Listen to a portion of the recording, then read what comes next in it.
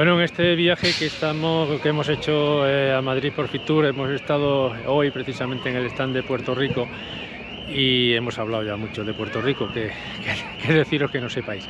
Y bueno, pues nos hemos encontrado con una asociación eh, aquí en España que está apoyando a puertorriqueños eh, que hoy por hoy están por la reunificación con España, que aunque suene algo que no está muy publicitado, existe. Eh, y aquí en Madrid existe la Asociación Cultural eh, Acción por la Reunificación eh, de Puerto Rico. Y nos hemos encontrado, hemos indagado y nos hemos encontrado pues aquí en un parque de, Madrid con su presidente, Luis Muñoz. Luis, me vas a contar qué es la Asociación Pro Reunificación.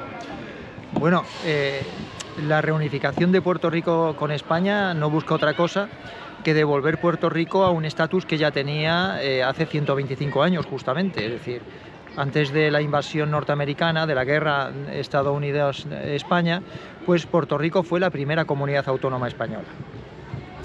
Entonces, eh, eso suena llamativo cuando parece que las comunidades autónomas se han inventado después de la Constitución del 1978, del 76. Pero resulta que no. Eh, Puerto Rico ya fue la primera comunidad autónoma y eh, después... representante en Cortes Españolas. Sí, sí, sí, sí, tenía su representación en las Cortes Españolas, etcétera y resulta que eh, como consecuencia de la firma del Tratado de París... Perdona, que te digo, pero a mí me gusta eh, meterme y precisamente el vicepresidente de las Cortes de Cádiz era eh, puertorriqueño. Sí, efectivamente. entonces, después de la firma del Tratado de París, los puertorriqueños se acostaron españoles y cuando se levantaron, mm, pues era un territorio incorporado a Estados Unidos no tenían la ciudadanía, digamos, de ningún territorio, porque en ellos entonces no tenían ni siquiera la ciudadanía de Estados Unidos.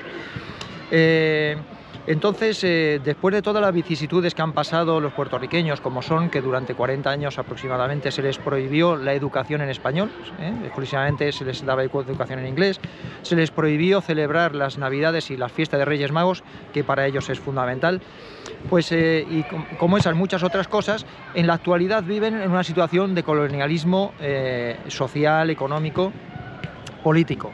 los puertorriqueños no tienen derecho a votar por el presidente de los Estados Unidos, no tienen derecho a votar por representantes en el Congreso y en el Senado de Estados Unidos, solamente tienen una comisionada residente que mm, tiene voz pero no tiene voto, eh, para que nos demos cuenta del estado colonial en el que se encuentra sumido este territorio. Entonces, desde la Asociación Cultural en Acción Puerto Rico-España, eh, estamos trabajando junto con eh, otra asociación radicada en Puerto Rico para conseguir que en un futuro plebiscito que se pudiera realizar sobre el estatus de Puerto Rico se incorpore la opción de la reunificación. Sí, porque eh, que yo sepa, ahora mismo allí se habla de, tres opciones, una que es la independencia, otra que es la eh, unificación con Estados Unidos y otro que es seguir el estatus como está. Esta sería la cuarta vía, digamos, ¿no? Exactamente, esta sería la cuarta vía que, em, bueno, pues eh, por motivos, eh, políticos, pues no se ha querido poner sobre la mesa hasta este momento. Nosotros queremos que se ponga. Em, con ese motivo eh, ya se solicitó hace unos años ante el Comité de Descolonización de Estados Unidos, de, Naciones Unidas, perdón, que se plasmara esa, esa opción en el plebiscito. No se ha hecho, y nosotros vamos a seguir insistiendo ante el Comité de Descolonización de Naciones Unidas para que esa opción se incluya y trabajar para, eh, para informar a los puertorriqueños de los beneficios que tendría la reunificación con España, constituyéndose como la decimoctava comunidad autónoma de España. Eh, Luis, ¿por qué? Yo la verdad es que cuando conocí Puerto Rico, eh, bueno, fue un amor quizás a primera vista, o a segunda o a tercera, pero la rabia que me da es que eh, eh, en España se, habla muy poco de, Puerto Rico, porque incluso se, puede hablar eh, más de Cuba, más las noticias, pero Puerto Rico prácticamente parece que no existe, solo en las ferias de turismo tímidamente. Bueno, este año, ya lo he dicho, Puerto Rico ha tirado la casa por la ventana y la presencia en Fitur es apabullante. Pero hasta ahora, mm, eh, eh, al contrario que en Puerto Rico, porque bien lo sabéis todos los seguidores del canal, que allá en Puerto Rico a España se la quiere de una forma impresionante y cuando nos hemos encontrado eh, por la calle con gente, éramos españoles, allí la, gente, bueno, el sueño de, la inmensa mayoría del puertorriqueño, el primer lugar a viajar y a conocer es España. En cambio, aquí en España, ¿por qué Puerto Rico no, no, sé, no se habla? Bueno, yo pienso que el hecho de estar bajo el paraguas jurídico de Estados Unidos, que ejerce una fortísima influencia, eh, es lo que ha, desviado la atención. Tengamos en cuenta que en 1917 se otorgó la ciudadanía norteamericana a los puertorriqueños con el fin fundamentalmente de que sirvieran como soldados en sus fuerzas armadas en las distintas guerras que Estados Unidos iba eh, teniendo por aquí y por allá.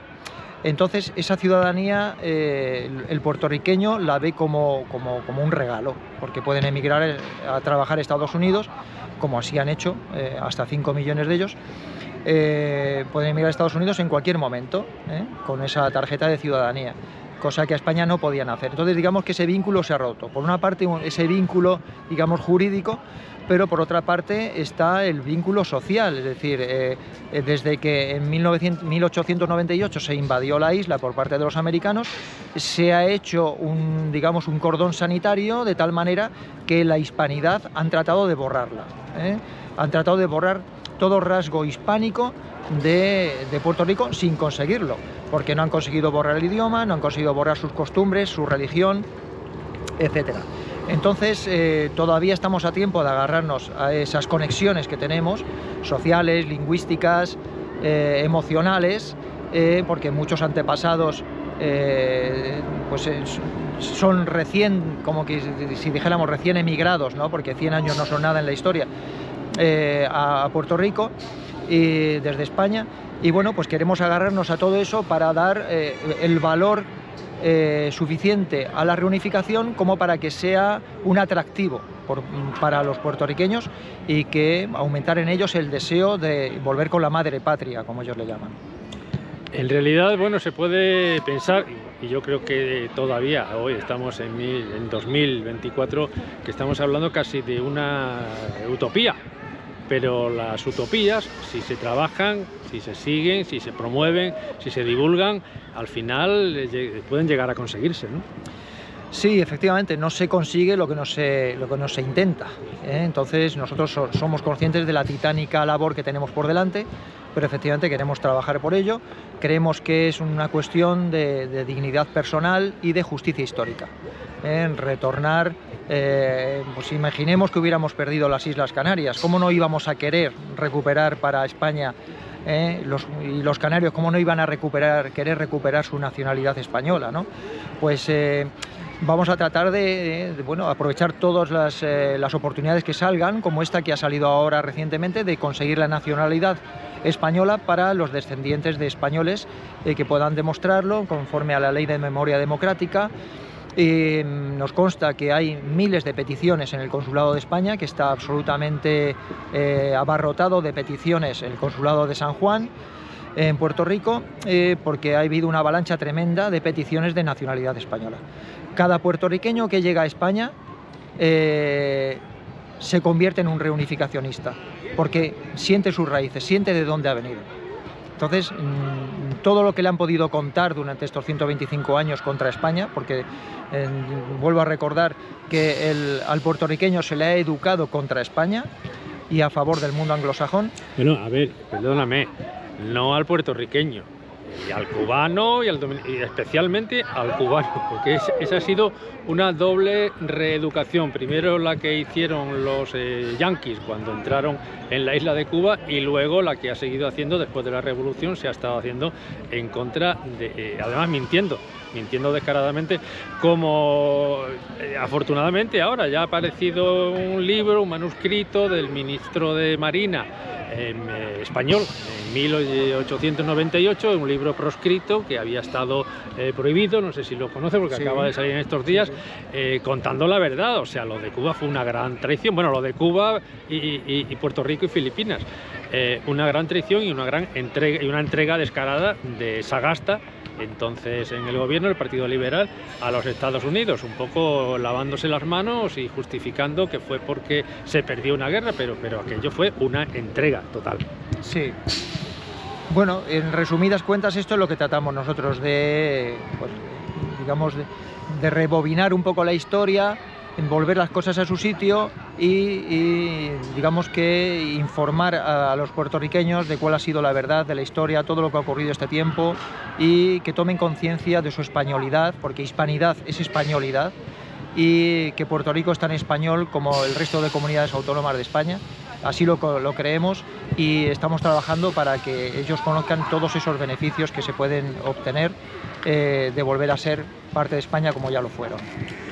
Bueno Luis, pues solo nos queda desearte suerte, desearos suerte y nosotros, nuestro medio de comunicación, estarán informando de, esta auténtica novedad, eh, se puede decir, porque aunque bueno, eh, se lleva trabajando el tiempo, pero es bastante desconocido. Eh, mucha, mucha suerte y, como se decía, al toro, ¿no? O salud y al toro, algo de esto. Pues sí, sí, necesitamos mucha suerte, necesitamos mucho apoyo de todas las personas que quieran ayudarnos y bueno, pues eh, a seguir trabajando, que es la única forma de conseguir los objetivos. Y bien, pues eh, aquí debajo justo eh, en el vídeo aparecerá una dirección web para todos aquellos que quieran ponerse en contacto con la, con la, asociación y de alguna forma trabajar con ellos juntos, pues puedan dirigirse. Y eso sí, mi, mi recomendación que sigo haciendo, eh, como siempre, es que vayan a Puerto Rico, conozcan Puerto Rico. Puerto Rico es un pueblo hermano que ahora hay gente allí y aquí eh, luchando por la reunificación, que esperemos que algún día, aunque, aunque igual no la conozcamos, pero bueno, la cosa es empezar y poner las primeras piedras eh, Exactamente. para conseguir el objetivo final. Así es. Pues muchas gracias. Muchas gracias a ti. Hasta pronto. Bien, y, bueno, ahora, vamos a mostrar la, bandera, de, la, que, la bandera que fue la bandera de, Puerto Rico, eh, cuando era una provincia española. ¿No, Luis? Esta es la bandera. Son con los colores eh, de la bandera nacional y el escudo de, la provincia de Puerto Rico que se puede encontrar precisamente a la entrada de San Juan, sobre, ese escudo. Tenemos documento. Gracias.